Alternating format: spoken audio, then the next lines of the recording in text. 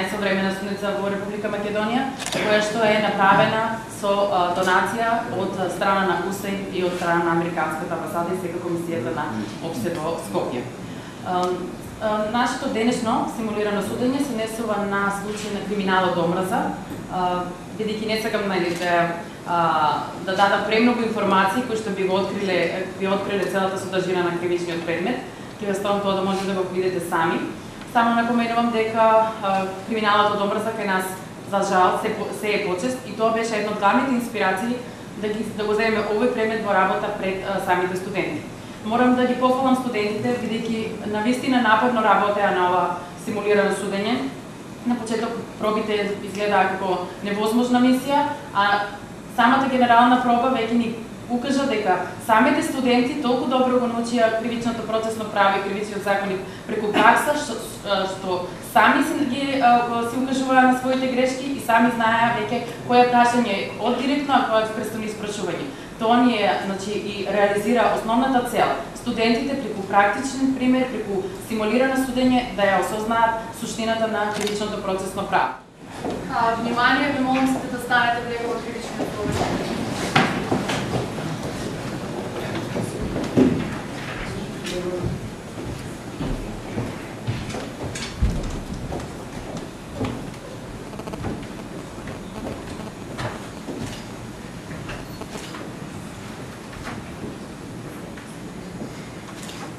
Dobar dan, mi dogovaramo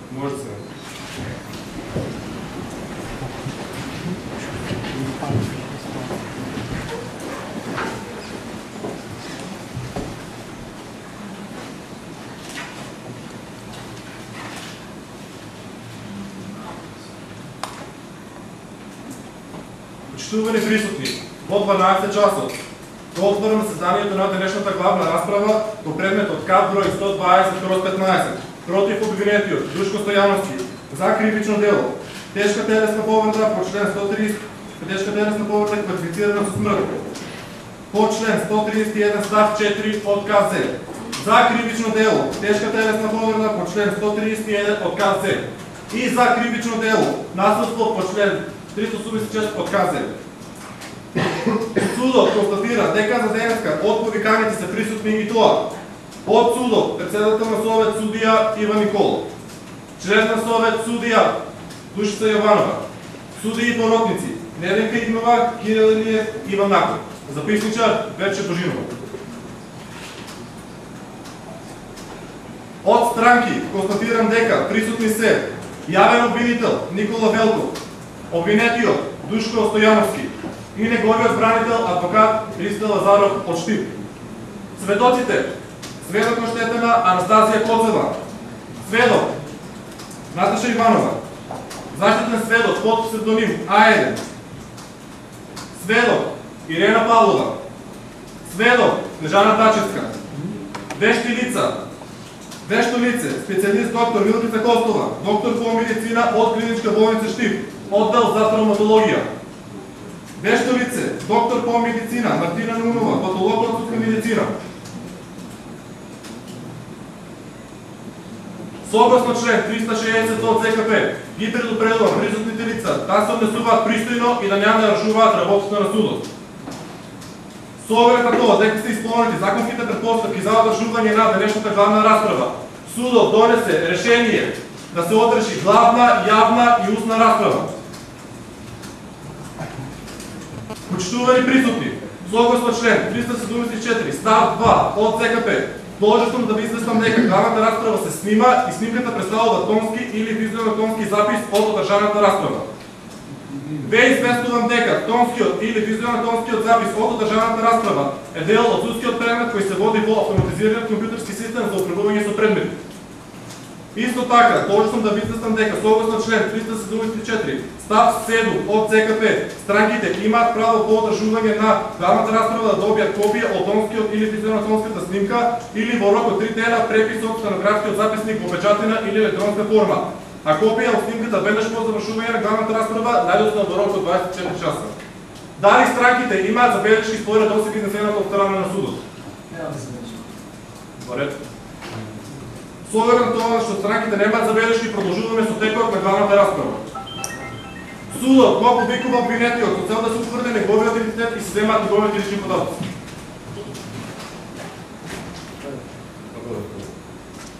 Станете. Презиме, име, од татко, мајка, кога сте родени, 86.980, каде живеете, што имате завршено, основно, дали работите, не, дали сте оженет, не, дали имате деца, не, по националност сте? Влад, државјанин на Република Македонија, матичен број на кабинетот Душко Стојановски 08 06 980 44 00 28. Проверете проверете. Дали обвинетиот Душко Стојановски досега сте критично судуван? да, еднашто, Добре. Со оглед тоа што обвинетиот се години се дека по националност сте влад, соодносно член 9 од ЗКП, имате право на преведувач, и што истиот изјавувате дека поведете. нема да го користам правото на преведувач, судењето ќе го гледам на македонски јазик. Добре.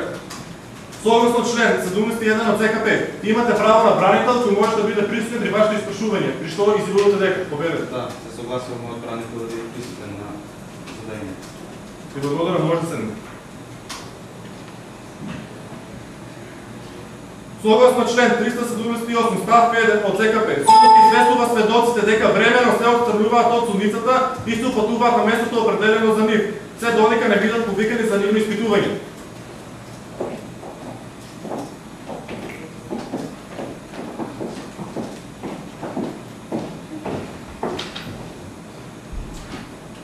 Се известува сведок тената дека може да остане во сумницата и дека има право да истакне имотно-правно побарување.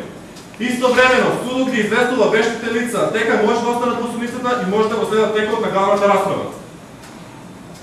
Почитувани присутни, согласно член 379, став 1 од ЦКП, главната расправа започнува со држање на воведни говори на странките. Во својот воведен говор, застапникот на обвинителниот пак, јавен обвинител Никола Велков Мачлив кажа, повелите колега, Благодарам. Почитуван судија, почитувани судии и поротници, почитуван обвинет, почитувани присутни. Основното јавно обвинителство поднесе обвинителен акт на ден 27.6.2014 година со број ко 120 кроз 2014 со што на обвинетиот Душко Стојановски му се става дека во стек ги извршил кривичните дела тешка телесна повреда квалифицирана со смрт, член 131 став 4 од КЗ, тешка телесна повреда, член 131 КЗ и кривично дело насилство, член 386 од КЗ. Почитувам судија, несомнено дека обвинетиот Душко Стојановски во стек ги извршил кривичните дела на најбрутален начин против сега оштетената Анастазија Коцева и починател Благој Чејанев, бидејќи располагано со доволно материјални докази кои што го оправдуваат обвинителниот акт. Меѓутоа, оно, оно, што- оно што овој случај го прави брутален и застрашувачки е тоа што мотивот на обвинетиот Душко Стојановски за извршување на овие кривични дела била сексуалната определеност на починател Благој Чејанев и оштетената Анастазија Коцева, бидејќи тие биле припадници на ЛГБТ заедницата. Почитувам судија, Сите во оваа просторија сме еднакви пред Уставот и законите и уживаме еднакви права, но за жал секојдневните ситуации лудираат на нешто друго. Абсурдно е во 21 век да говориме за тоа дека ЛГБТ луѓето се поразлични. по поабсурдно се евентуалните поводи за кои би го мотивирале да изврши вакво грозоморно дело. Одраз на едно демократско општество е толеранцијата и почитување на другиот. ЛГБТ луѓето се на маргините до тој степен што им ограничена слободата на движење, која е уставно загарантирано начало, бидејќи истите се уште чувствуваат страх дека ќе бидат ќе бидат жртви на дела на насилство, а некои тоа го, го плаќаат и со својот живот, како што тоа е случај со покојниот Благојче. Сексуалната ориентација не треба да биде пречка за ништо во животот на определен индивидуа, а најмалку причина за да не, за да некој ве лиши од правото на живот, телесен и морален интегритет, кој се фундамент на секоја едница. Омразата го раздјарува општеството во секој сегмент. Криминалот од омраза треба најстрого да се осуди и сторителот соодветно да се санкционира. Почитуван судија, предлагам на главната расправа да бидат изведени следниве докази. Изјава на сведокот оштетен Анастазија поцел.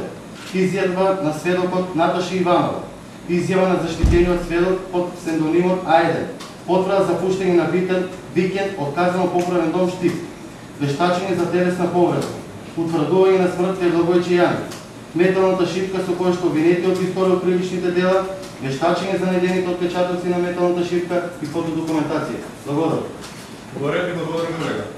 Во својот воведен говор, во на обвинетиот адвокат Ристо Лазаров кажа, повелите колега. Благодарам. Учител судија, учител кривичен совет, учител јавен обвинител, учител колега, почитувам оштетенат, учител и присутни. Обвинетиот ги нема сторен кривичен дела кој му се ставаат на да товар на бедни во обвинителниот так. Обвинетиот е примерен и честен човек и во текот на постапката ќе докажам дека кривичните дела кои му се ставаат на да товар не ги извршил. Тој е млада личност и пред него престои животот. Душко Стојановски нема никакви предрасуди спрема половата слобода, а посебно спрема ЛГБТ заедницата, што значи дека нема ниту мотив, ниту причина да ги стори наведените кривични дела. Доколку евентуално биде да осуден на затворска казна, истата негативно ќе се одрази на него и на неговиот психички развој. Во текот на ова, во текот на постапката ќе ќе се обидеме да докажеме дека кривични дела кои кои се кои се стават на товар не ги извршил. Предлагаме на главната расправа да, да расправа да бидат изменени снеги докази. Раскрит на обвинетиот согласно член 391 став 1 од ЗКП и раскрит на следоци Ирена Павлова од Штип, улица Енгесова број 15 и Снежана Тачевска од Штип, улица Балканска број 2. Благодарам. Благодарам. Во својот доведен говор, обвинетиот Душко Стојановски кажа, повелете. Немам посебен доведен говор, мојата отбрана изнесува мојот бране. Говорете, благодарам, можеш да Судот, согласно член 379 од ЗКП, ја повикува сведок оштетената, односно незинот полномошник адвокат Методи Донски од Штип да се произнесе во врска со имото правно спроварување. Повелете. Благодарам почитани судија. Значи во цело состануваме со обвинителниот акт, имотно правното побарување ќе го бараме во граѓанската ставка. Говорете, благодарам колега, може се. Согласно член 380 од ЗКП, судот го прашува обвинетиот Душко Стојановски, дали разбирате зашто сте обвинет? Станете. Да. Добре. Судот ве поучува дека имате право да молчите, имате право да дадете свој исказ, имате право внимателно да го следите текот на главната расправа, имате право да изведувате докази во своја одбрана, имате право да поставувате прашања на сведоците и вештаците и воедно да ставате на забелешки на нивните изјави. Согласно член 380 од ЗКП, се повикува обвинетиот Душко Стојановски да се произнесе во однос на кривичното дело, односно дали се чувствувате за виновен или не, односно да дадете истина по однос на вината. Поведете. Не се чувствувам за виновен. И благодарам, можете се. Судот донесе решение да се изведат предложените докази. Започнува доказна постапка. Се повикува сведок оштетената Анастасија Косева да пристапи на главницата.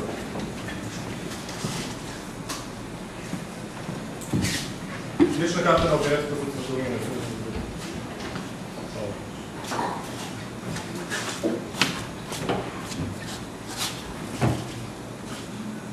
Презиме, Коцева, име, Анастазија, преживјанство, Македонско, датум на раѓање, 16.1985, матичен број на сведок поштената Анастазија Коцева, 16 01 985 950 19. Дали сте вработени? да, Дали барате судот да досуди ден куга за нешто ваше сведочење? не, Согласно член 386 ЗКП, судот го опоменува сведокот Анастазија да Коцева дека е должна на судот да му изнесе се што му е познато во врска со телото и го предупредува дека давањето на лажен исказ представува кривично дело. Дали ме разбирате? Може да се не. Се повикува јавно обвинето да пристапи кон директно испитување на сведокот што седената Анастазија Коцева. Повелете колега. Благодарам. Судија, почитувани присутни. Сведокот оштета на Анастазија Коцева е прекрасна личност, но и навистина храбра што таа денес дојде овде за да ни даде изјава да го расветлиме кривично правниот настан на ден 27.6.2014 година во ЛГБТ представништвото. Господи Коцева, каде живеете? Живеам во општина Штип. Што работите? Собственичка сум на козметички салон. Колку долго сте собственичка?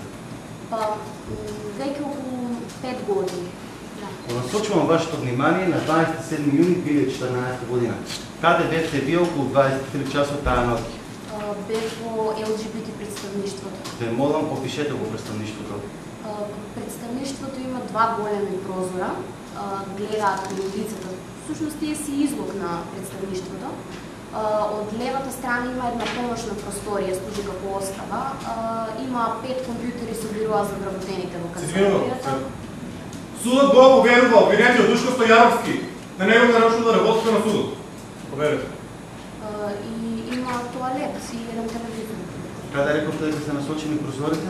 Па прозорите се насочени кон, а, кон улицата, бидејќи се како на Што вие точно видовте во 23.30? а, видов човек како се приближува кон представништвото. Ве молам, опишете го човекот. Па, средно висок беше човекот, носеше фармерки и мајца на кратки ракави, мислам дека беше црна по боја, имаше брада и забележав дека има изразито сини очи. Дали тврдите дека човекот што го видовте таа ноќ е всушност обвинетиот Душко Стојановски? Преговор почитувам судија. Обвинителот наведено поставено редовичко прашање. Приговорот се прифаќа. Се опоменува јавниот обвинител да го преобрази поставеното прашање. Поверете колега. Господин Гоцина, дали човекот што го видовте таа ноќ го гледате денес во судницата? Да, Ве молам, посочете го. Почитувам судија, дали го видовте тоа? Да. Ве молам да го внесете во записникот. Господи Коцева, што направи обвинетиот таа ноќ? Кажете ми. Па, значи, како што кажав, го видов како се приближува кон представништвото.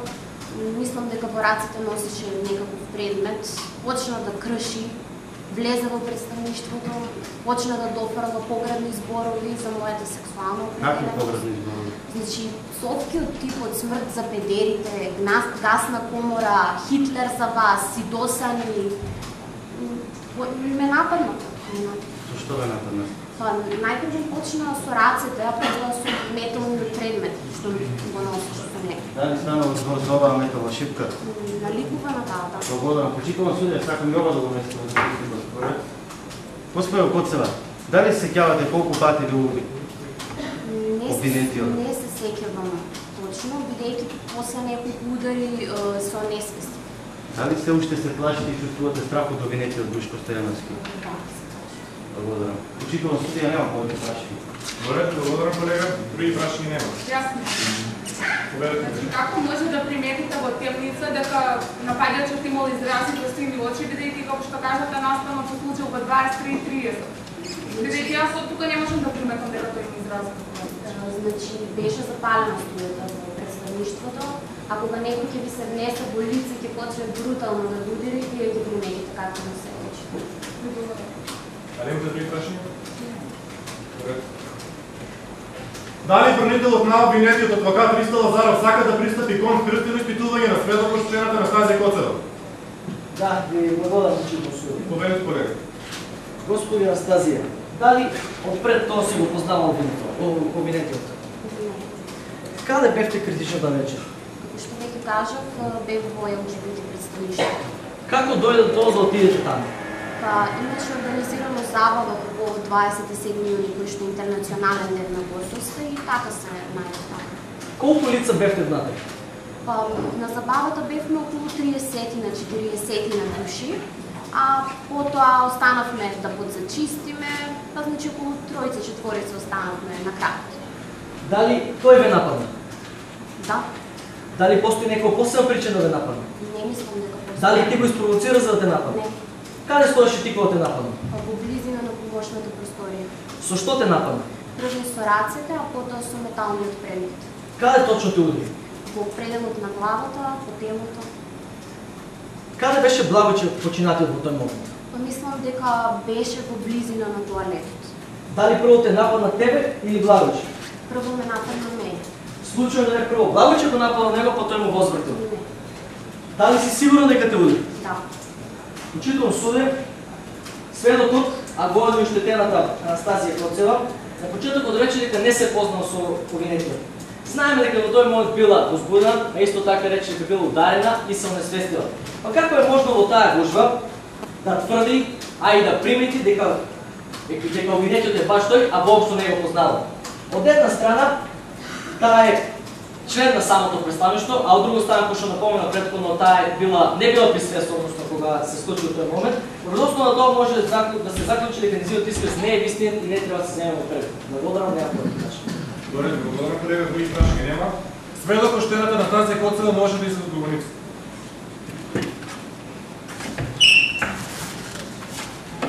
Нешто така.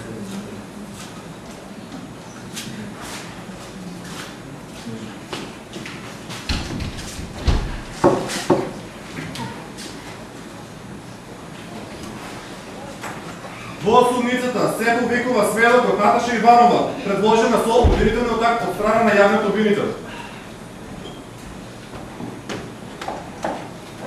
Повикува сведокот Наташа Иванова да влезе во судницата. Точно како се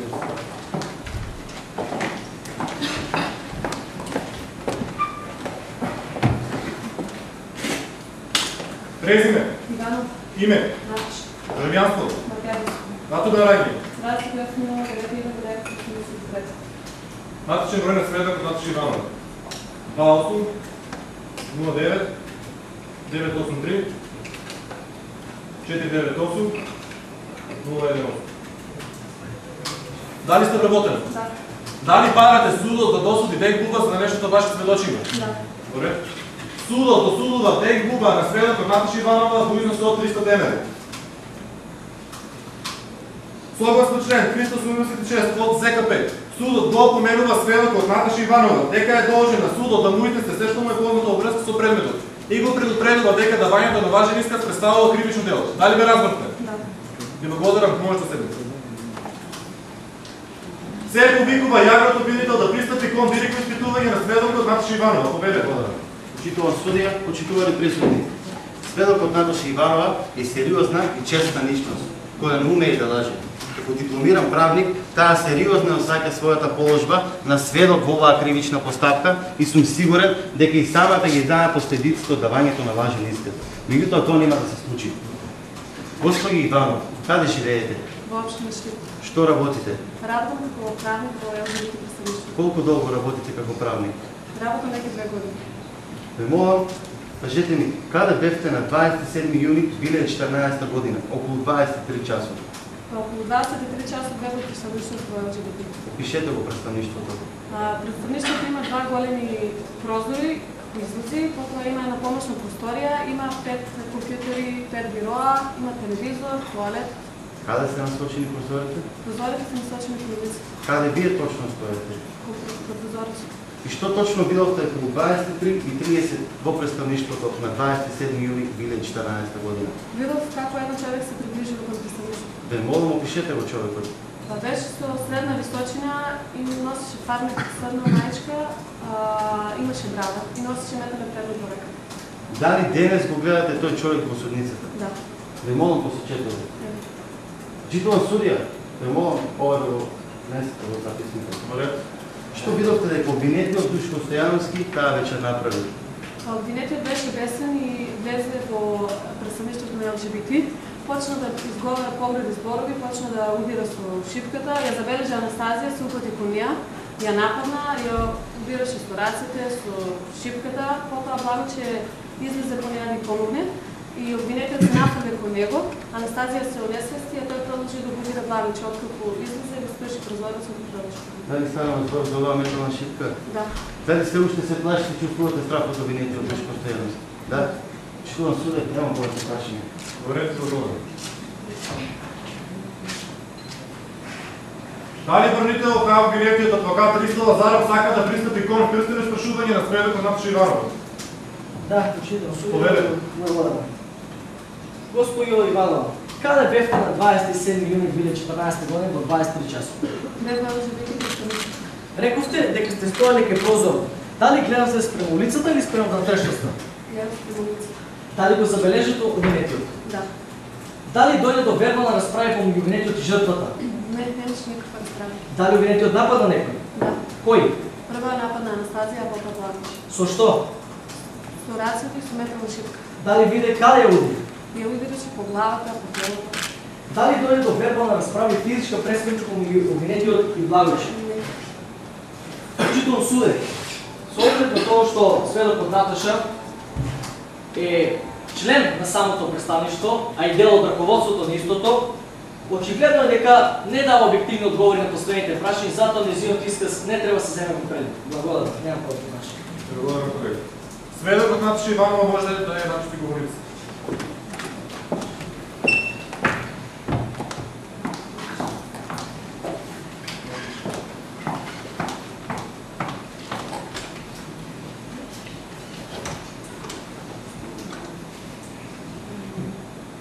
Судот примирува кон сослушување на заштитен сведок под псевдоним А1.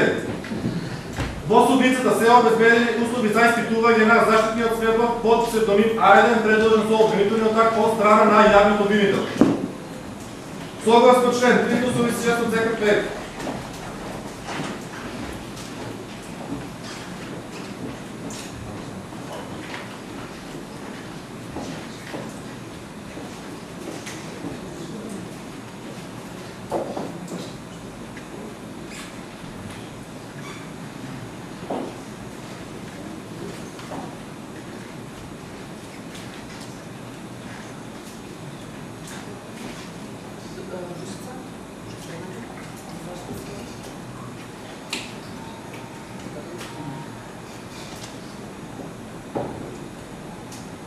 Дали се слушаме?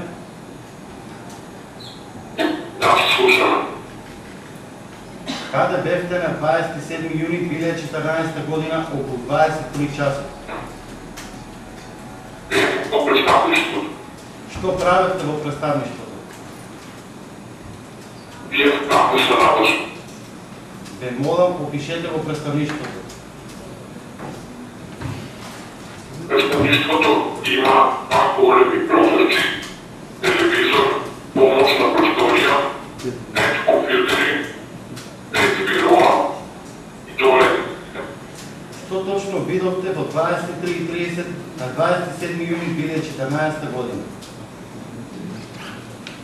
Видов како обвинител да брзо се приближува кон представништвото низ прозорецот, а потом кога влезе, почна да кажува зборови и го нападна, Лагојче и оштетенот. Со што ги нападна? Дали видовте? Да, човекот да шипна. Ве молам, опишете го обвинетиот Душко Стојановски. Тој е изразито чутивна коса и брада, висок околу 170 сантиметри, а, има сини очи, Колку долго го познавате Душко? а, се познаваме околу 3 години. Зошто толку многу се тоа страхот да чувствуваш страх од Душко Стојановски? Тоа е познат по насоското нашиот крај. Постојано некои напаѓа. Кога има тепачки бунтови, тој се още прв. Многу ги мрази членовите на ЛГБТ заедницата. Постојано зборуват дека се педери, експерики и накази. Благодарам. Учително суда немам повеќе прашања. Добре, други прашања нема.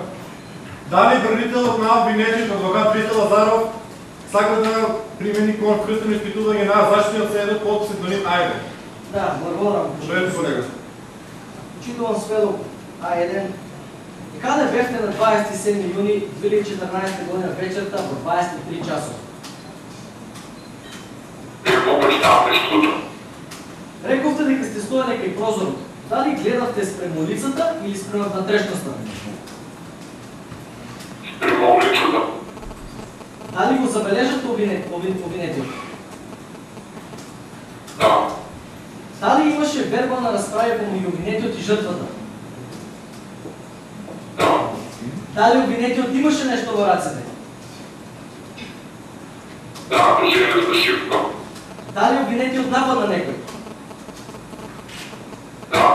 Кој? Дали прво е нападна жртвата, па потоа Благоч или обратно? Прво Каде стоеше Благоче во тој момент?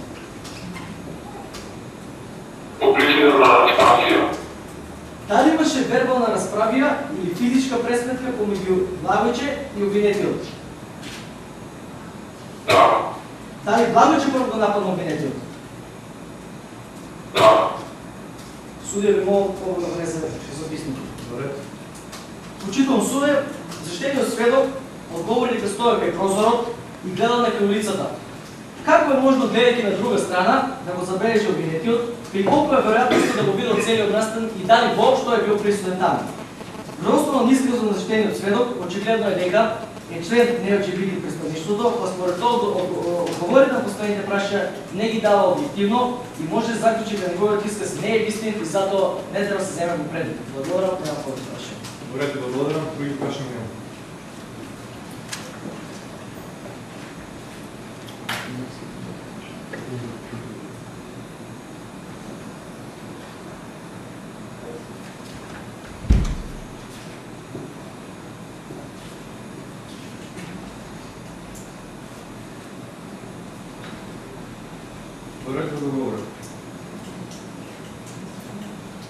Во да судницата се публикува сведокот Ирена Павлова предложена од страна на одбраната.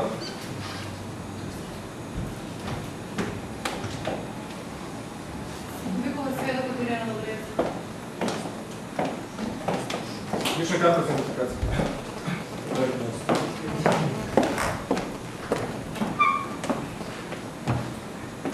Презиме, Павлова, име, Ирена, државјанство, Македонска, датум на раѓање, 17.7.1993. матичен број на сведокот Ирена Павлова, 17 07 993 498 097. Согласно член 386 од ЗКП, судот го опоменува сведокот Ирена Павлова дека е должен на судот да му изнесе се што му е познато во врска со делото и го давањето на лажен исказ представува кривично дело. Дали ме разбрате? Да. Може да седне. Се повикува брнителот, адвокат Риста Лазаров да пристапи кон директно испитување на сведокот Ирена Павлова. Заговарам. Господи Ирена, колку долго го познаваш Душко? Душко го познавам повеќе години, од прилика околу 10. Опишете ни каква личност е тој. Тој е позитивна личност, секогаш ведар и пријателски расположен кон сите. Дали е склон на физички напади, дали е агресивен? Не воопшто. Со кого и каде бевте критичната нога? А критичната рон бев со Душко во мојот стан. Во колку часот тој дојде кај вас? Околу 20 часот. До колку часот остана кај вас? До еден пополнок. Опишете ни како беше облечен тој таа вечер. Носеше фармерки, мајчка и палта. Дали пред да го напушти вашиот стан, разговарате каде тој планира да замине? Да, и рече дека ќе замине дома. Дали кога го напушти вашиот стан, то- стан тој имаше нешто во раце, ташна, торба или нешто слично? Не, Душко го напушти мојот стан со празни раце. Учител суден, со оглед на тоа што Ирена, како што изјави, била таа вечер со обвинетиот Душко, најверодостојно го опише движењето и однесувањето на обвинетиот, на основа, па врз основа на тоа, незиот исказ треба да се земе во предвид. Благодарам, Ви благодарам колега, други прашања нема. Дали јавниот обвинител сака да пристапи кон спирствено испрашување на сведокот Ирена суде. Победете колега. Господи Павлова, вие велите дека на 27 јуни 2014 година сте биле заедно со обвинетиот Душко Стојановски во вашиот стан. Да, Значи вие сте пријатели. да, Се согласувате ли со мене дека на пријателот секогаш треба да му се помогне? да, апсолутно. Не ли ви пречи тоа што обвинетиот е неиздржување на казна затвор? Не. Приговор почитувам судија, оставам небитно прашање на Приводорот се прифаќа. Се опоменува јавниот обвинител да го преобрази поставеното прашање. Победете колега. Инаку каде работите? Работам во Германија, Што работите во Германија? а приватно. Дали долго се задржувате повеќе во Германија? Околу 6 до 7 месеци. Кога последен пат бевте во Во Германија? мај оваа Последниот пат колку долго се задржавте во Три Германија? месеци. Три месеци. Да, А рековте дека сте отишли во мај. да, Значи очигледно е дека вие во Македонија сте биле дури во јули. да. Учитувам суде, очигледно е дека сведокот да дава лажна изјава, бидејќи за време на кривично правниот настан таа не била во Македонија, а со тоа не била ни заедно со обвинетиот Душко Стојановски. Предлагам ова да, да влезе во записникот. Благодарам. Сведокот да Ирена Павлова може да е напшто говорницата.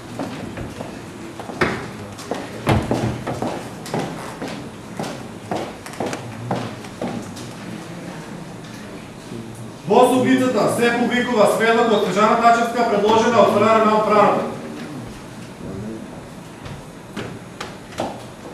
Сведокот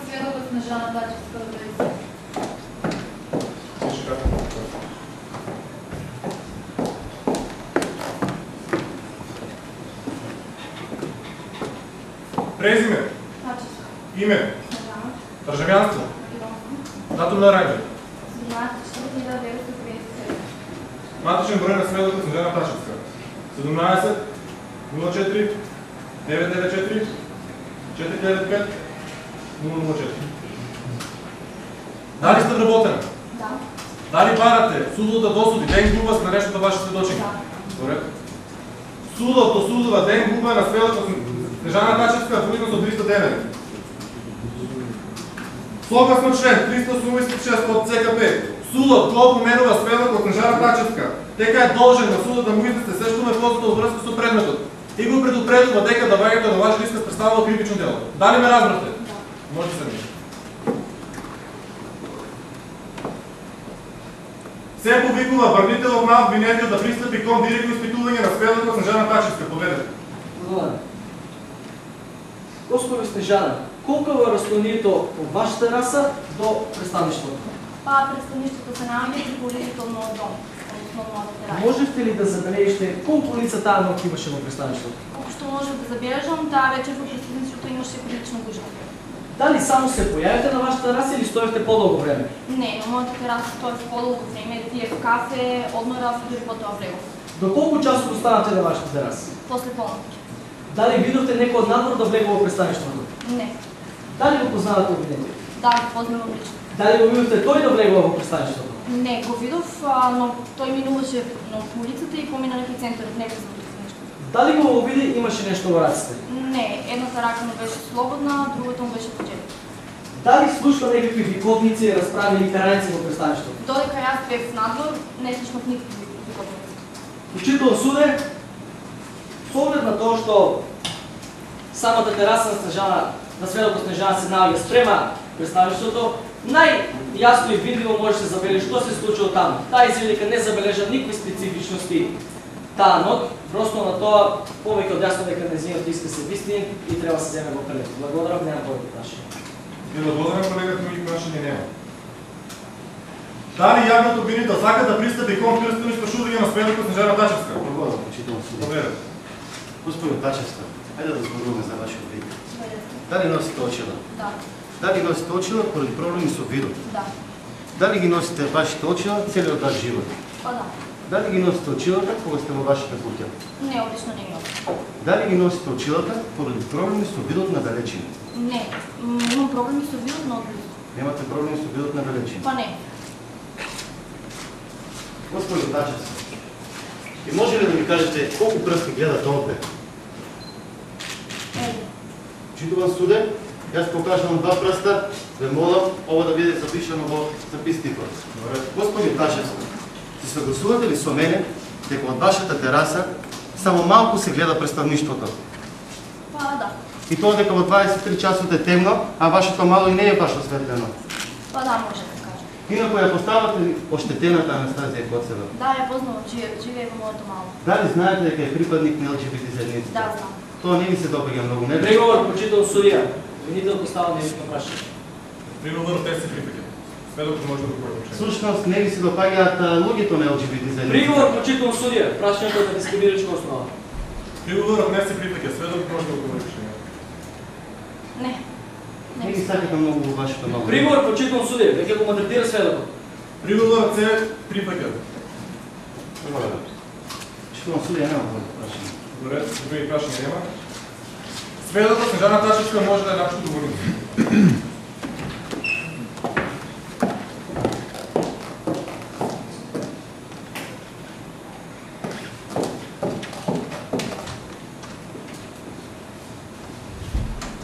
Во судницата се повикува вешто лице, специалист доктор Мартина Нунова, патолог од Институтот на судска медицина.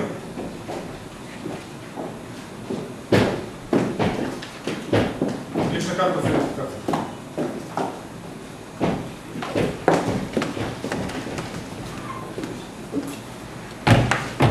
Презиме, Нонова, име, Мартина, државјанство, Макјанство, датум на раѓање, 31.7.1975. матичен број на вештото лице?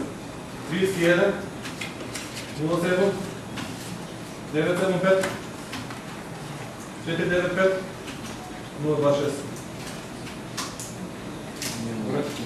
Дали вештото лице бара надомест на трошоци за изготовка на вешт наоки мислење? Да. Судот досудува надомест на трошоци за подготовка на вешт наоки мислење во износ од 60.000 денари. Согласно член 387 од ЗКП, вештото цела померува на должноста да го изнесе мислењето на јасен начин и во согласност со правилата на службата. И се предупредува дека давањето за давањето на важен исказ за наоки и мислењето представува кривично дело. Дали ме разбравте? Може да седнете.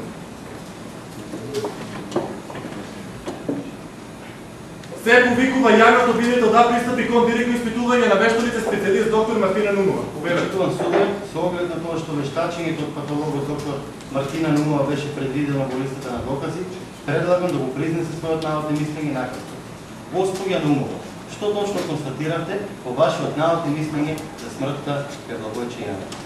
Почитувано судија, почитуван кривичен совет, почитувани присутни, по наредба на Основниот суд Штип е извршена целосна обдукција на, на, на телото на починатиот Благој Чајанев на ден 28.6.2014 година во 8.30. Пописакала на кратко да го искажам својот науки, стручен науки мислење.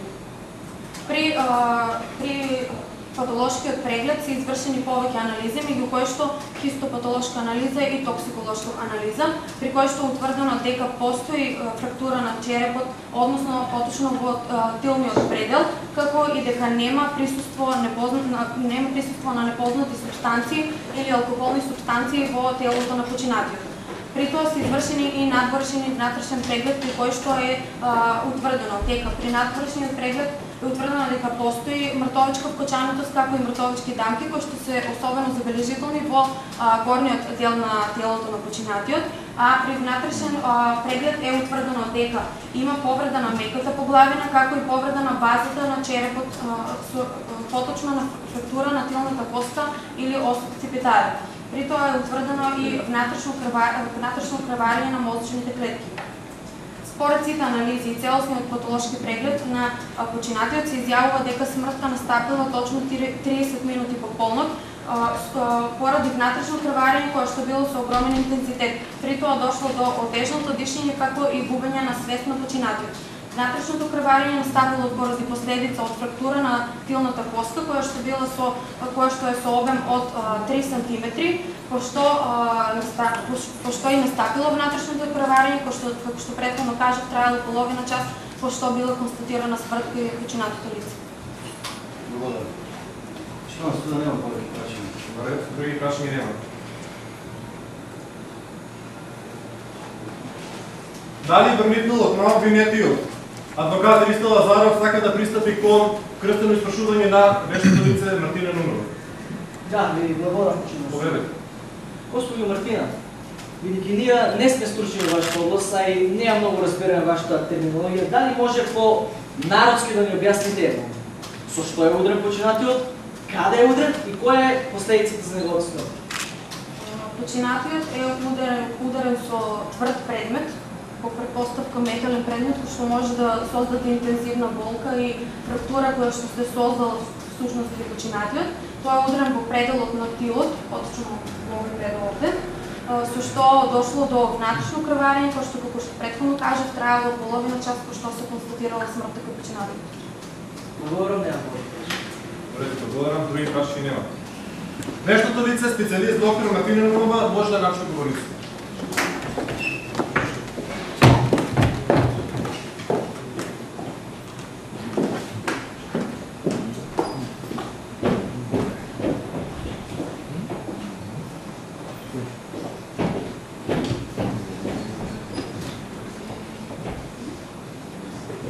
Во судницата се повикува вешто лице, специјалист доктор Вилкица Костова од клиничка болница Штип, поделение за травматологија.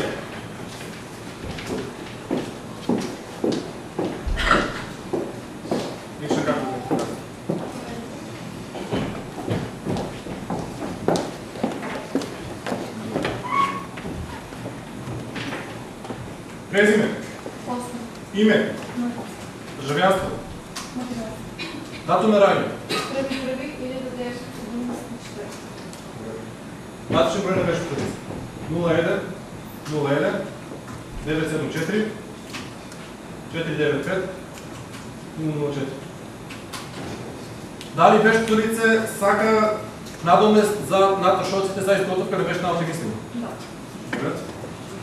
Судот досудува надомест на трошоци на име изготовка на вешт научни мислење во износ од 20.000 денари.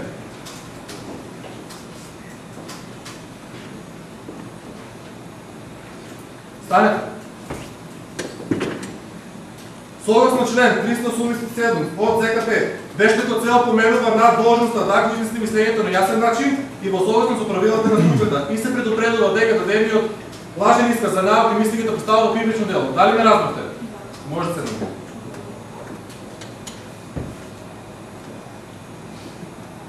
Се повикува јавното обвинител да пристапи кон директно испитување да на вештолица специјалист доктор Милкиц Костова. Поверете, Постои постава. Што точно констатиравте по вашиот навод и за телесните повреди на обштетената Анастасија Косова? Почитува. Од извршениот преглед на поштетената од клиничкиот центар Штип, одделот за травматологија, а, во, на 28.6.2014 година е утврдено дека оштетената Анастазија Коцова и со тешки телесни повреди во пределот на десната страна на челото, непосредно на десната веја. Како што можете да забележите од фотографиите. Синтезиран крвен подлив со овална форма со димензии 2 спрема 1 см во пределот на очниот капот и синтезиран крвен подлив со издолжена овална форма косо попречно поставен со димензии 11 спрема 5 см со различни обојност. Конјуктивата на десното око е потемно обоена, а додека на левото око е светло розеникава боја. Исто така констатирано е дека поради таквите удари кои биле зададени во пределот на главата, се појавени симптоми како потрес на мозокот, гадење, повраќање, мртоглавица, исто така констатирана е фрактура на левата страна на клучната коска, фрактура на три ребра од десната страна, нагомечен граден кош, фрактура на левата подлактица, фрактура на десната подколеница и секотини на целото тело со главина околу 2 см. Јас како вешто лице на главен претрес истакнувам и останувам во целост при изготвениот извештај за извршениот телесен преглед на оштетената, појаснувајќи дека повредите се од многу голем обем и се настанати на брутален, на брутален начин. Тоа е се. Благодарам. Читам студија нема хора прашање. Благодарам, други прашања нема. Дали бранителот на обвинетиот адвокат Ристо Лазаров сака да пристапи кон крстено истрашување на вештото лице? Читам судија нема прашање. Борете, благодарам, прашање нема. Вештото лице специјалист доктор Милица Костова може да ја начне говорницата. Благодарам.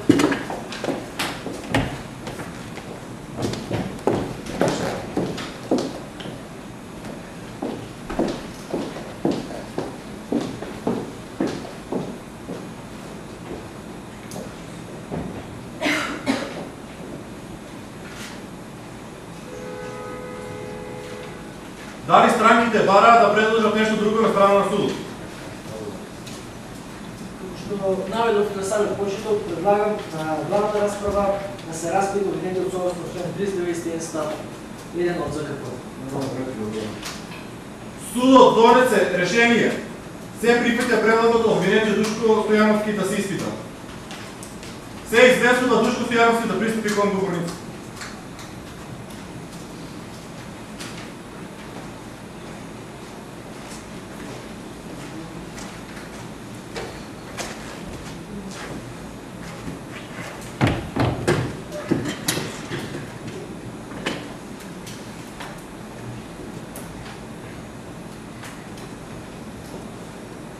Согласно член 386 од ЗКП, судот го опоменува обвинетиот дека е должен на судот да му изнесе се што му е познато за предметот и го предупредува дека да бањето на важен исказ представува кривично дело. Дали ме разбравте?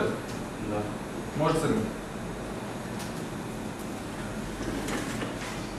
Се повикува бранителот на обвинетиот адвокат Христа Лазаров да пристапи кон директно испитување на обвинетиот Душко Стојановски. Повелете. Добро. Господине Душко, дали ги познава жртвите? Не. Каде бевте критичната вечер? Кај мојот пријател Ирен Во колку часот се таму? во 8 часа. До колку часот се задржате таму? До еден. Од како се отиде, од како стана дирен, каде отиде, каде за ним? Почитувам суде, нема повеќе прашање. Ред одговор. Други прашања нема. Дали јавниот обвинител сака да пристапи кон пирстено испрашување на обвинетиот Душко Стојановски? Победен. Почитуван обвинет. Што мислите за луѓето на ЛГБТ заедницата? Приговор почитувам судија. Ја да ви поставам небитно прашање. Приговорот се одбива, обвинетиот може да го одговори. Почитуван. Одговорите на прашање. Одговорите на прашањето. Немам посебно мислење. Ево џибици. Дали ги оправдувате истополовите бракови? Приговор почитувам судија. Дискриминирачко прашање поставам ја да Приговорот се одбива, обвинетиот одговори на прашањето. Дали ги оправдувате истополовите бракови? Не. Кој нормален ги го. ги го Зошто? Никоја вера не ги оправдува. Што е тоа? Дали се чувствуваш завинуван? Не. Дали се каже за тоа што го направи? Приговор почитувам судија. Веќе го мотретира обвинетиот. Приговорот се прифаќа. Се опоменува јавниот обвинител да го преоbraзи поставеното прашање. Нема повеќе прашање. Во ред други прашања нема, обвинетиот Душко Стојановски може да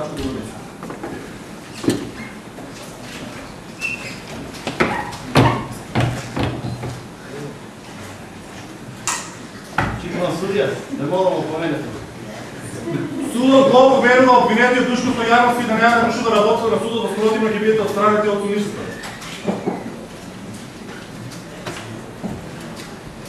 Судот пристапи кој следува ги на предложените писмени дописи и тоа.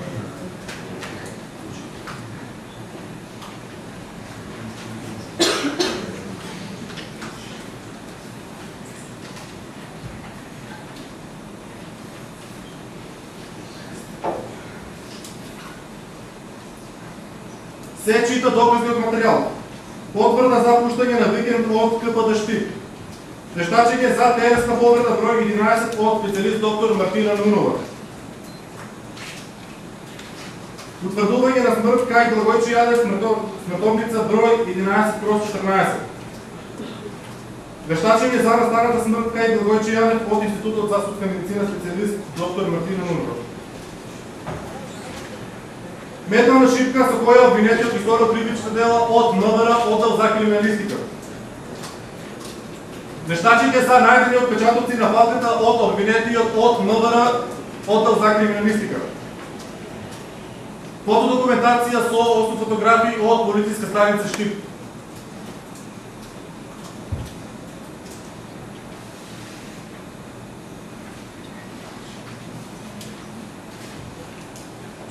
Судот ги известува странките дека со тоа главната расправа е завршена и готова ќе донесе пресуда. Се известуваат странките дека судот заради донесување на одлуката се повлекува заради советување и гласање и потоа веднаш ќе биде објавена јавно.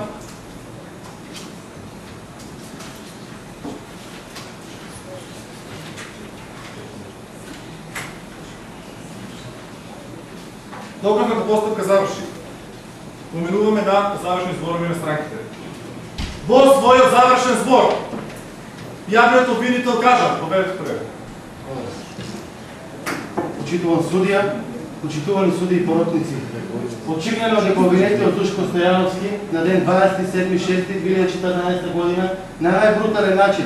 Во стек ги извршил кривичните дела, тешка телесна повреда, квалифицирана со смрт, член 131 став 4 од КЗ, тешка телесна повреда, член 131 и насилство, член 386 од КЗ. Почитуван судија, со сигурност може да утврдите фактичката состојба, бидејќи за тоа говорат многуте материјални докази. Како еден од тие докази е потврдата за пуштење на Бител, викен, од казано поправен дом Штип. Потоа доказите кои што оспоруваат вистината за кривично правниот настан се вистините искази на оштетената Анастазија Коцева и сведокот Наташа Иванова. Вистината за кривично правниот настан ја под- потврдува и исказот на заштитениот сведок под псевдонимот Ајден, кој што се уште чувствува страв и се плаши од обвинетиот Душко Стојановски. И тоа е опасен за, нижин, зи- не- за низиниот живот и здравје.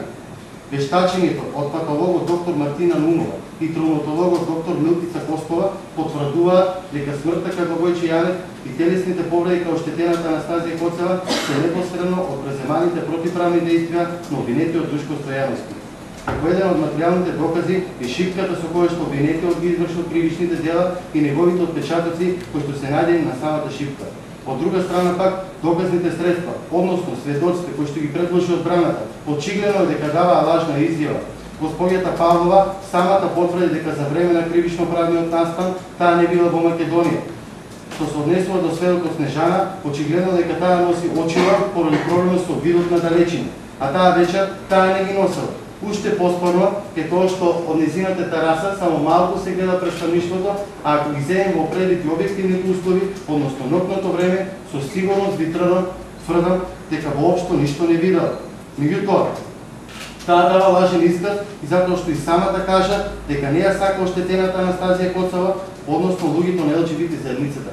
Почитуван судија, почитувани суди и поротници, предлагам мериторната одлука да ја донесете врз основа на сите овие докази и да ги земете во предвид сите олеснителни и отежнувачки околности, особено предходната осудуваност на обвинетиот Душко Стојановски и мотивот, односно според член 39 став 5 од КЗ, сексуалната определеност на оштетената Анастазија Коцева и починател Благој Чијанов.